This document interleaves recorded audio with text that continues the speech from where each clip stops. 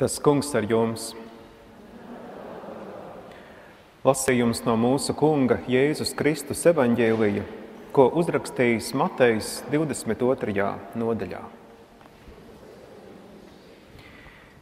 Jēzus tiem atkal runāja līdzībās. Debesu valstība ir līdzīga ķēniņam, kas rīkoja savam dēlam kāzas. Viņš sūtīja savus kalpus paziņot aicinātajiem par kāzām, bet tie negribēja nākt. Viņš sūtīja vēl citus kalpus, likdams teikt aicinātajiem: Redzi, mans mīlestības ir sagatavots, mani vērši un nobaroti teļi jau ir nokauti, un viss ir gatavs, nāciet uz kāzām. Taču tie nelikās nezinis un aizgāja, cits uz savu lauku, cits savā veikala darīšanās, bet pārējie atvēruši viņa kalpus, par tiem ņirgājās un tos nonāvēja. Ķēniņš sadusmojās un nosūtīja savu karaspēku iznīcināt šos slepkavus un nodedzināt viņu pilsētu. Tad viņš sacīja saviem kalpiem: Kāzām viss ir sagatavots, bet aicinātie nebija cienīgi. Ejiet pa apkārtējiem ceļiem un aiciniet kāzās visus, ko vien sastopat. Kalpi izgāja uz ceļiem un atveda visus, ko vien sastapa, gan ļaunus, gan labus un kāzu, niem, kāzu nams bija pilns mīlestaviesiem. Tad ķēniņš iegāja savus viesus aplūkot un ieraudzīja tur kādu cilvēku, kas nebija tērpies kāzu drēbēs. Ķēniņš tam jautāja: Mans draugs, kā tu esi šeit ieradies bez kāzu drēbēm? Bet tas klusēja. Tad ķēniņš sacīja kalpiem: Sasieniet viņam kājas un rokas un izmetiet viņu ārā tumsā Tur būs vaimans un zobu griešana. Jo daudz ir aicināto, bet maz izredzēto. Tā kunga evaņģēlīs. Debes Tēvs, mēs Tev pateicamies par Tavu vārdu un lūdzam sveitī mūsu Tava vārda patiesībā, jo Tavs vārds bija, ir un notiek kā mūžīga patiesība un dzīvība. Amen.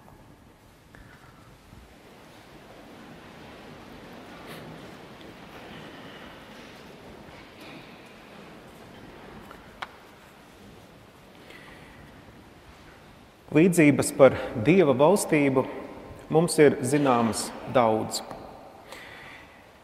Jaunās derības teksts mums atklāja daudzas Jēzus līdzības par šo Dieva radītās pasaules esamības veidu, domāšanas un rīcības un attieksmes veidu, realitātes uztveres veidu, dzīves veidu, kultūru, dzīves modeli, kam Jēzus deva vārdu Dieva valstība, kas gan kā daudzi zināt, ir visnotaļ neveiksmīgs un sen novecojis pārnesums latviešu valodā, jo teksta oriģināls runā par Dieva valdīšanu, par Dieva valsti vai Dieva laikmetu. Līdz ar to bez paskaidrojuma, ko īsti nozīmē jēdziens Dieva valstība, mēs par Dieva valstību, kas paradoxālā kārtā taču ir Jēzus dzīves un mācības stūrakmens, pateikt nevaram neko, kaut vai tā vienkāršā iemesla dēļ, ka mēs taču vairs ikdienā nelietojam vārdu valstība. Nelietojam ikdienā. Un to, ko nelietojam, tā jēgu arī visai drīz pārstājam saprast. Taču varbūt tas nav tikai tāds valodniecisks negadījums. To tiešām ir vērts pārdomāt, kā tas nākas, ka pašu svarīgāko kristīgās ticības vēsts saturu, Jēzus pasludinājuma pašu kodolu, mēs nespējam uztvert un saņemt tieši, bet tikai caur interpretāciju, caur līdzību, caur paskaidrojumu. Jēzus vēsts centrālā doma mums nav dota tieša un nepārprotama kā tāda axioma vai likuma pants. Jo viņš nesaka, Dieva valstība ir tas un tas. Viņš saka, tā līdzinās. Vienīgais ir, ir tas, ka tā ir atnākusi, tā ir mūsu vidū. Taču līdz tai mums jāizrokas pašiem. No tā divi secinājumi. Vispirms šo atziņu jāliek aiz auss tiem, kas apbruņojušies ar Jēzus tiešajām runām, mēģina tās izmantot kā ieročus, lai kritizētu, vērtētu, nosodītu vai slavētu, lepotos, piespriest balvas. Jēzus vārdus izmantot kā rīkus, lai ar tiem atšķirtu kviešus no nezāvēm, nozīmē šos vārdus pārprast, devalvēt un tos lietot necienīgi. Skaidrais Dieva vārds nav kā veļas pulveris, ar kur palīdzību tikt galā ar traipiem un melnumiem. Un otrkārt, visi vārdi, kas nāk pēc tam, pēc Jēzus, nevis šīs līdzības un metafors izskaidro, bet drīzāk ierobežo. Jo teoloģija ir nevis vēl skaidrāka un labāka glezna, bet gleznas apraksts izstādes katalogā ar visām no tā izdejošajām sakām. Jo redziet, šķiet, Jēzus nav teologs. Tas, protams, ir ļoti apbēdinoši tiem dažiem no mums, kuriem diplomos ir šāda kvalifikācija atzīmēta. Jēzus nav teologs, dieva zinātnes pārstāvis, kurš nodarbojas ar dievu un pētī dievu, līdzīgi kā kardiologs nodarbojas ar sirdi un to pētī, vai antropologs ar cilvēku, vai psihologs ar cilvēku iekšējo pasauli. Jēzus teiktais mudina drīzāk domāt, ka viņš bija teopoēts, dzēnieks. Pie tam zīmīgi, ka grieķu vārda, no kura cēlies, cēlies vārds dzēja, poēzija, šī grieķu vārda nozīme ir radīt kaut ko, kas iepriekš nav bijis. Nevis pētīt to, kas ir, bet radīt to, kas nav bijis. Un tieši to dara Jēzus. Un tieši tāpēc arī viņa runas mums ir tik grūti saprotamas, analizējamas un kādās kastītēs saliekamas, jo viņš rada jaunu izpratni, drīzāk izjūtu par tēvu, par attiecībām, par dzīvi, par cilvēkiem un tā tālāk. Viņš ir dzinieks, Un viņa teiktais mums drīzāk jāuztver kā dzēja, nevis pabeigti un kādā instancē apstiprināti formulējumi. Tos cilvēki rada vēlāk un joprojām lauž par tiem šķēpus gan pilīs, gan pagrabos. Taču sākumā bija dzēja. Un kad mēs sakām dzīvot saskaņā ar Jēzus vārdiem, dzīvot saskaņā ar svētajiem rakstiem, tad tas nozīmē dzīvot saskaņā ar šo poēziju, ar šo dzēju un dzīvot saskaņā ar dzēju, nozīmē dzīvot nevis saskaņā ar vārdiem, kurus mēs šajā dzējolī izlasām, bet dzīvot saskaņā ar to, par ko šie vārdi vēstīja, uz ko šie vārdi aicina, ko šie vārdi attēlo. Tāpat kā dzīvot saskaņā ar gleznu, nozīmē dzīvot nevis saskaņā ar krāsām, otām un tūbiņām, bet saskaņā ar to bildi, ko glezna attēlo, un pat varbūt ne ar pašu bildi, bet ar šīs bildes veistījumu. Tāpat kā dzīvot saskaņā ar skaņdarbu, nozīmē dzīvot nevis saskaņā ar pildspalvu, nošu līnijām un visu, kas uz tām attēlots, un pat ne saskaņā ar mežragiem, trompetēm un violēm, bet ar melodiju. Un pat ne ar melodiju, bet ar to, ko šī melodija vēstīja. Bet mēs esam mazliet novirzījušies no līdzībām par Dievu valstību. Šķiet, ka ja mēs vēlētos nedaudz tuvāk izprast, kas Jēzum ir padomā, kad viņš par šo valstību runā, tad man šķiet, ka viņš stāsta par dzīvi, kas sakņojas cilvēku savstarpējā mīlestībā un cieņā vienam pret otru, par sabiedrību, kas ir atvērta jebkuram cilvēkam, jo Dievs mīl katru cilvēku, par dzīvi, kurā cilvēks cilvēkam nav vilks par kopību, kurā iespējama dalīšanās ar visdziļāko un personiskāko, nebaidoties no vērtējuma un tiesāšanas, par telpu, kurā iespējama garīga augšana, tapšana par sevis labāku versiju. Jēzus runā par dzīvi, kura ir iespējama, un tomēr tā ir vēl ļoti reti sastopama. Tieši tāpēc Jēzus par šo valstību runā līdzībās, jo konkrēti, tieši pierādāmi, atķeksējami tā tikpat kā vēl nekur nav. Ne tikai Jēzus laikā ļoti maz, bet arī mūsu laikā. Taču par ko tieši Jēzus runā?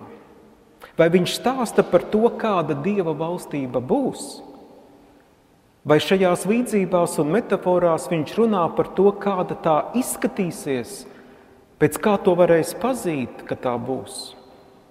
Nu, mūsdienu lasītājs un klausītājs, kurš optimisma pilns raugās nākotnē, kurš pievērst tam, kas vēl tikai top, tā varētu domāt. Protams, ka Jēzus par to, kas šodien tikpat kā vēl nav, runā nākotnes formā. Dieva valstība būs tāda un tāda un tāda.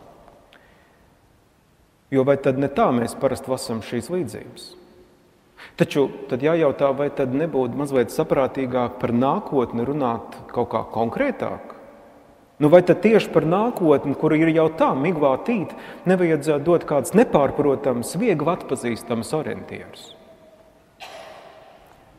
Es aicinu jūs padomāt, vai Jēzus te nerunā par tagadni, par to, kam Dieva valstība līdzinās tagad – Pie tam ņemot vērā, ka Jēzus vēsts ir taču par šo dzīvi, nevis par kaut kādu nākotni pēc nāves vai par nākotni pēc 20 gadsimtiem.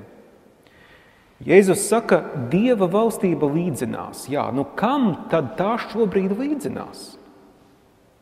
Un tieši jau tāpēc līdzinās, ka vēl nav tā, kā tai vajag būt. Tas ir līdzīgi kā, piemēram, 70. gados mēs teiktu, nu kam šobrīd līdzinās brīvā Latvija? Nu, brīvā Latvija līdzinās varbūt baznīcai, kurā ierīkot minerālu mēslu noliktavu. Tās altārs un kancela nolikt muzejā un gaida labākus laikus. Nu, tam šobrīd līdzinās brīvā Latvija. Bet tas taču ir slikti. Tas nav labi. Ir vēl daudz jādara un jāgaida, līdz tā vairs nelīdzināsies šādai baznīcai. Tieši tāpat Jēzus runā par Dievu valstību par dzīvi, kādai tai vajadzētu cilvēku starpā būt. Tā ir klāta, tā ir atnākusi, tā ir mūsu vidū, un tad lūk, paskatīsimies, kā tai klājas, kāda tā šobrīd ir. Un katra Jēzus līdzība par Dievu valstību atklāja kādu skatu punktu, kādu aspektu, kādu tēmu, kādu ieskatu tajā, kam Dieva valstība šobrīd līdzinās. Kas ar to notiek? Ko ar to dara? Kas tai jāpieredz? Un mēs redzam, ka tai neklājas viegli. Vismaz līdzībā, kur dieva valstība tiek salīdzināta ar ķēniņu, kurš rīkojas savam dēlam kāzas, jau šo stāstu palūkojamies kā uz tādu, kurš ir par šodienu, nevis nākotni. Tad redzam, ka dieva valstībai, Jēzus gribētai dzīvei, mīlestībā un cilvēciskās attiecībās sakņotai dzīvei klājas diezgan draņķīgi. Es pat lietotu kādu stiprāku vārdu. Jo redzēt, šī nav tāda pozitīva līdzība par to, kāda dieva valstība reiz būs, bet tā ir līdzība patiesībā par to, kādai dieva valstībai nevajadzētu būt. Jo tas ir ļoti bēdīgi, ka tā šobrīd joprojām līdzinās ķēniņam, kurš taisīs savam dēlam kāzas. Par to nav iemeslu priecāties, bet gan nopietni pārdomāt, kāpēc tas tā ir. Un vai ir iespējams kaut ko darīt, lai tas mainītos. Priekšā liels darbs un cenšanās, dedzīga cīņa un gaidīšana, vai tas tā reiz vairs nebūtu. Jā, jo patiešām varbūt ar Dievu valstību ir tā, ka še, tā kā šajās kāzās. Un atcerēsimies, ka mēs jau vairāk kārt esam par šo līdzību runājuši un uzsvēruši, ka ar ķēniņu Jēzus te nedomā Dievu, bet gan ķēniņu. Viņš saka ķēniņš, sava laika ķēniņu, visticamākais Hērodu vai Romas imperatoru, nu kādu diktatoru, kurš ar visiem izrīkojās, kā viņam tīk. Ķēniņš Jēzus līdzībā nav Dievs, kā kāda paraduši domāt. Jo šis ir stāsts par to, kā Dieva valstība cieš zem šī ķēniņa, zem tā varas un necilvēcības. Tas ir stāsts par to, kādās ciešanās šodien atrodas Dieva valstība. Jo dzīve, kādu Jēzus rāda, ir krasā pretstatā sava laika normālām attiecībām starp cilvēkiem. Jēzus atklātā dzīve ir šķērsām, nepārkāpjām robežām starp bagātiem un nabagiem, valdniekiem un vergiem, jūdiem un samariešiem un nejūdiem un tā tālāk. Dieva valstība ir nevis vienkārši kaut kāda cita alternatīva, dzīve, bet gan apkarojama un nepieņemama alternatīva. Dieva valstība ir dzīve, kuru tā laika garīgā un valdošā politiskā elite šos Jēzus stāstus, šo viņa attēloto dzīvi, kur tur samarieši ir kopā ar jūdiem un tam līdzīgi, viņi to uztvēra kā kaut ko nešķīstu, bezdievīgu. Un kas tā pa dzīve tāda? Sliktākā lopiem, nu tāda pretīga, vai ne, ka tur viss pie viena galda sēž. Nu, tur kas var būt vēl pretīgāks, kā sajieties ar nejūdiem, sēdēt pie viena galda ar samariešiem, klausīties visu šīs viņa preteklības un nešķīstības. Es mazliet varbūt pārspīlēju, bet es vēlos, lai jūs apzinātos, ko viens vidējais teikt, cilvēks toreiz un impērijai lojāls pavalsnieks un, kā teikt, garīgi ļoti lojāls pilsonis domāja par Jēzus mācību, par viņu mācekļiem, par pirmajiem kristiešiem. Viņi neatbild nekādām normām un rakstiem. Viņi bija kā tādi ļauni spēki, kas sabiedzējuši pie mūsu svētajām robežām. Labais Dieva valstību raksturojošais tēls Jēzus līdzībā ir nevis ķēniņš, bet līdzības beigās, tumsā un postā izdzītais cilvēks, kurš nebija gribējis spēlēt pēc ķēniņa violas un nebija uzģērbis ķēniņa uzspiestās kās drēbes, nebija smējies, kad bija jāraud, nebija dejojis, kad patiesībā vajadzēja sērot, nebija izlicies un domājis vien par savas ādas glābšanu. Tas, kurš bija atteicies būt vienaldzīgs pret to likteni, kuru pilsētas ķēniņš bija nodedzinājis. Šis cilvēks ir Dieva valstības simbols šajā līdzībā, kurš paradoxālā kārtā pats no visas šīs līdzības, no visa šī līdzība aprakstītā pasākuma tiek izdzīts ārā un ar sasietām rokām un kājām izmest tumsībā, kur vaimans un zobu trīcēšana. Valstība kura pati iznīcina savus īstos bērnus un līdz ar to zaudē savu jēgu un pamatu. Lūk, šāds neparasts motīvs atklājas Jēzus līdzībā. Šajā cilvēkā līdzības beigās Jēzus reprezentē ne tikai Dievu un viņa mīlestības vēsts likteni šajā pasaulē, bet kaut ko vēl aptverošāku mīlestības, piedošanas, brīvības, atvērtības, pieņemšanas un izpratnes likteni starp cilvēkiem, grupām, tautām, reliģijām, dažādu redzējumu cilvēkiem un tam līdzīgi. Satriekts un sists viņš pat nevēra muti, kā jērs uz kaušanu novests, kā avs pie cirpēja, kas mēma un nevar pat muti pavērt, vai tie nav vārdi, ar kuriem var aprakstīt cilvēciskuma likteni daudz kur pasaulē un arī kādreiz savstarpējās attiecībās mums daudz tuvāk apkārtnē un pat mūsu pašu dzīvēs. Jo stāstu par Dieva valstību iespējams stāstīt un īstenot tā, ka pašai Dieva valstībai tajā vairs nepaliek vietas. Interesantā veidā šo, šajā pašā Mateja evaņģēlijā par Dieva valstību ir pateikti vārdi, kas sabalsojas ar šo atziņu. Mateja evaņģēlijā ir teikts, ka no Jāņa Kristītāja dienām līdz pat šim laikam debesu valstība tiek pakļauta vardarbībai un varmā, kas cenšas to sagrābt. Dieva valstība tiek pakļauta vardarbībai un daudzi varmā, kas cenšas to sagrābt. Dieva valstību kādi cenšas nozagt, sagrābt, uzdot par savējo, pasludināt sevi par tās cēlājiem un aizstāvjiem – Vai to grib sacīt šie Jēzus vārdi?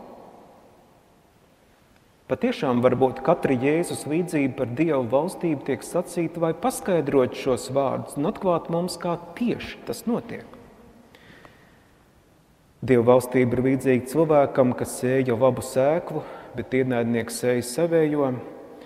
Tā līdzīga sinepju graudiņam, raugam, tīruma apsvēptai mantai, pērļu tirgotājam, jūrā izmestam tīklam, vīna dārza saimniekam, kurš meklēja strādnieks vīna dārzā, desmit līgavas māsām, no kurām piecas bija gudras un pārējās nepārāk.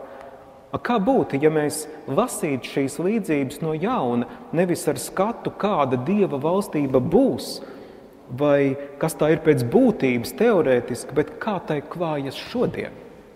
Tas būtu interesants veids, un es nešaubos, ka mēs atklātu, ko pārdomāt vērtu gan par Jēzus vārdiem, gan par dzīvi un kontekstu, kurā dzīvojam.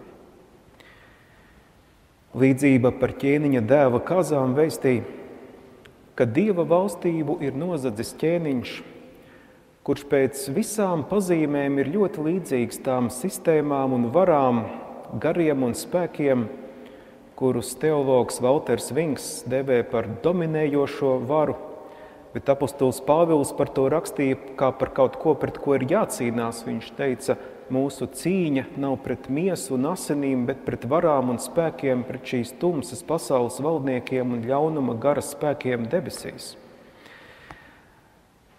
Jā, tās ir to sistēmu spēki un varas, kuri ir novērsušies no sava dievišķa aicinājuma. Ķēniņš ir novērsies no sava dievišķa aicinājuma kalpot, izlīdzināt, darīt veselāku, labāku, no aicinājuma vienot, mīlēt, izprast, dzirdēt, veicināt dzīvi un dzīvības būtību.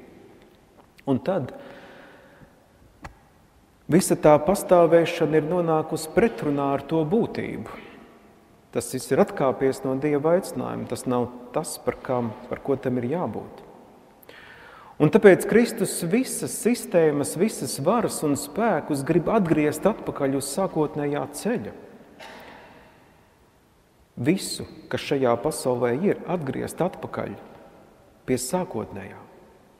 Un Dieva valstība kļūst par spoguli, par lakmusa papīru, kurā paraugoties šī novēršanās top ļoti skaidri redzama.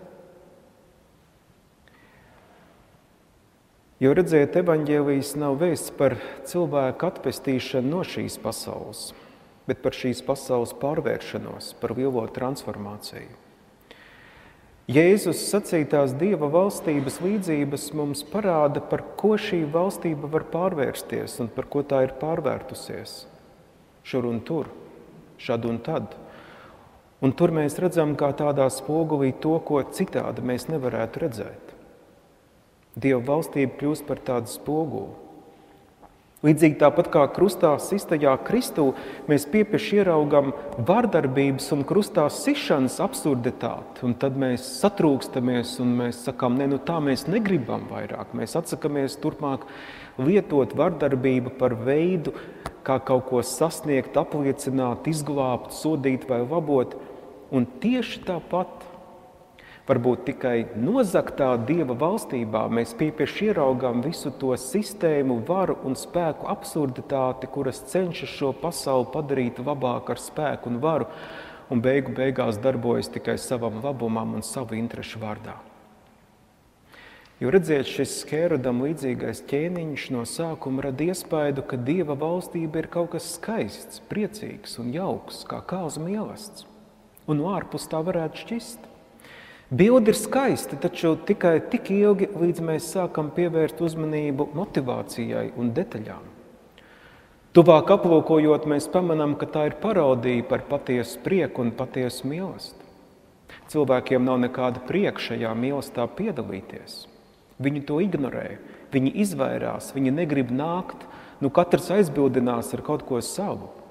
Vēl vairāk viņi uzskata par tīri pieņemamu, un droši vien tā, um, tas šajā Dieva valstī paveidā ir norma, viņi uzskata tīri pieņemamu par ķēniņa kalpiem paņirgāties un tos nokaut. Un, protams, ka vardarbība eskalējas, ķēniņš pielieto nesamērīgu varu, nodedzina pilsētas un beigās no ceļiem un laukiem savāc šos bez savas mājām palikušos un no savām pilsētām izdzītos un izraidītos un ar varu piespiež tos diet un smiet šajās groteskajās kāzās. Jēzus saka, lūk, tāda izskatās Dieva valstība, kas ir nozagta. Un tur, kur jūs ko tādu redzat, kur jūs to manat, kur jūs to nojaušat, tad ziniet, šī vēl nav tā labākā versija par Dieva valstību.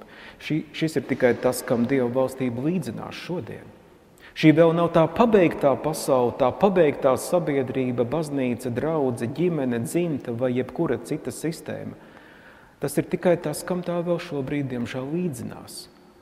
Un tikai tad, kad tā pārstās kaut kam citam līdzināties, bet būs tikai tas, kas tā ir, tikai tad līdzības savu uzdevumu būs izpildījušas un nebūs vairs nepieciešams. Jo mēs redzēsim patiesību, kā vaigu vaigā.